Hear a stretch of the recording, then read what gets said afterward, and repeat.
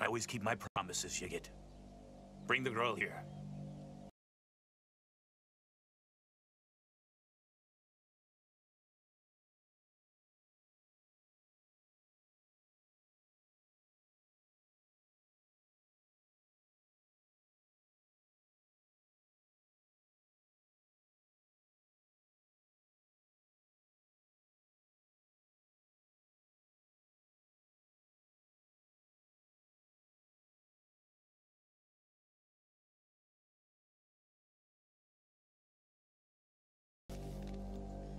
Killing a prosecutor is only going to bring more trouble for everyone, all right?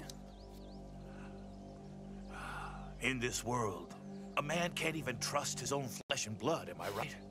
I mean, just look at what your brother has done to us. Go on, take the girl and leave, Yigit. Tasin, Mr. Prosecutor will be staying with us. You asked for me to make a choice between you and my family. Yeah, and you've already made your choice. Come on, bring the girl here.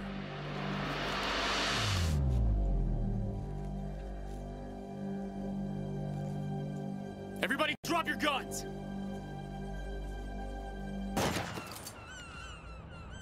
Five years earlier.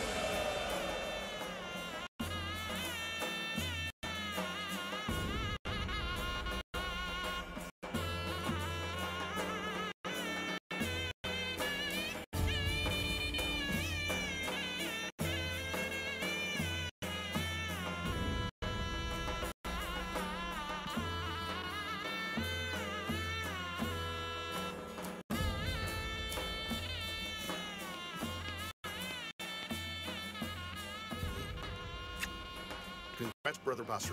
You get to see your grandchild's wedding. No one could be more deserving. Thanks very much. Hey, I wish the same for my Emir and Yigit as well. God willing, Father.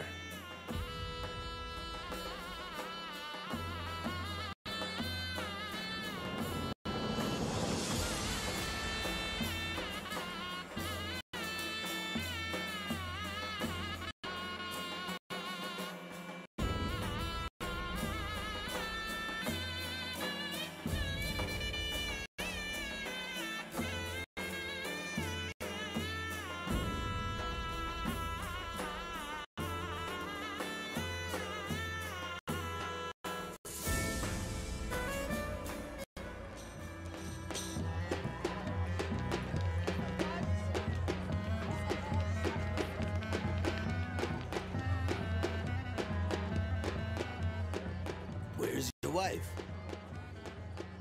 Oh, didn't we send her an invitation? Shame on us if we didn't. She's not feeling well, Father. With all the wedding fuss, she's very tired.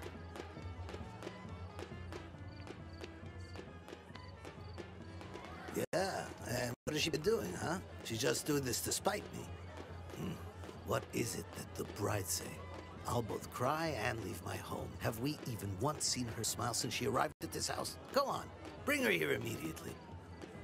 We can't have a wedding without your wife here. What an embarrassment that would be. I already told her that, Father, but she's Enough. just... They can't say that the famous Basri can't make his wife obey him. Zaliha better be down here in five minutes. No, please don't bother wasting your breath. I'm not going. I already told you. Zaliha, come on, honey. We will look bad in front of everyone. Father asked for you to come. Please don't do anything to offend him. He asked for me? Yes. So your father asked for me, huh? Your father only knows how to order people around. I go out to the town, once in a blue moon to buy a dress, and he doesn't hold back when he insults me. Oh, the dear lady will make us all go bankrupt. He says loudly, That's enough, enough. I can't breathe around here. Zaliha, after all this time, you're gonna start complaining? It's the wedding day. Come on. Please come with me. Just do it for me, would you please? For please? 25 years, I've been here rotting my life away for you. I've been putting up with everything that your father has ever said to me. No, that's enough. That's it. Enough is enough. What can we do, dear Zaliha? He's my father, and we just have to put up with it. He's an old man now. We shouldn't have to put up with him at all. I came here with you from Istanbul, and you told me that, that we were going to pay our respects and stay maybe a month or so. And look how many years have gone by. Look, now the grandkids are getting married. Ugh. And what do you think will happen next? He's going to find girls for our boys to marry and then make them stay right here forever. No, I didn't find my sons on the street, you understand me? I'm not going to marry my son's futures here, okay?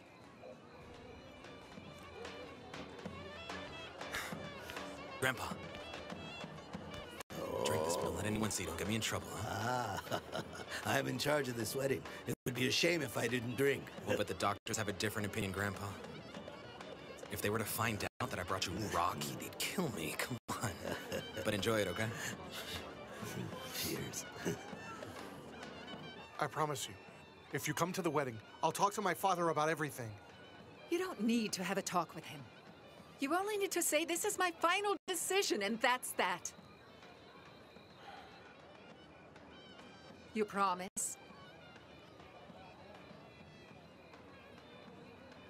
I give you my word. When will you do it? As soon as the wedding is over. And that'll allow me to become a professor, hopefully. What are you doing, Grandpa? Basri's grandson will become a professor. My lion of a grandson. My boy, you've always had a special place in my heart. But look at your brother. He barely finished high school due to his vagabond ways, I swear. Where is he? Look, he's gone and disappeared again. He must have found something to keep him busy. Yigit, when are you going to come and ask for me? I always ask for you, girl. Look, I asked for you, and now I'm here.